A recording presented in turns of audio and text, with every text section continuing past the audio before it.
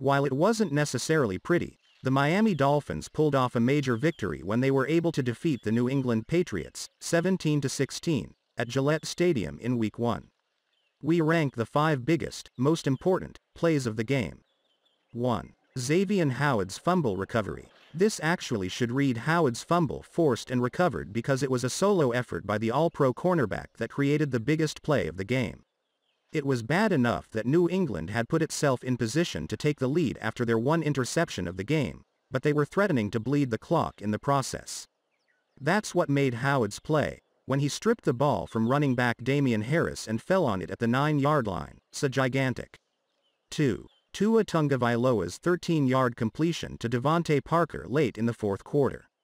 Let's face it, the Dolphins' work was not done after Howard's big play because there was still 3.31 left in the fourth quarter and New England had all of its timeouts.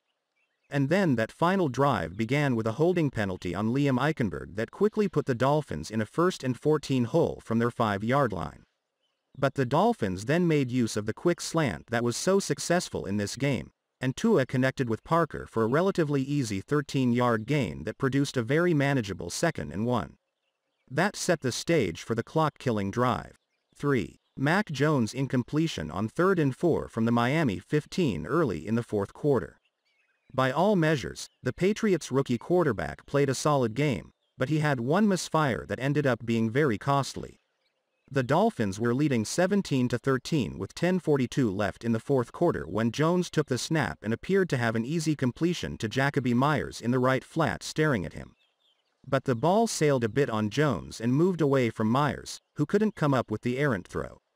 That really should have been an easy completion for a first down and the Patriots would have had the ball a first and goal with a chance to take the lead.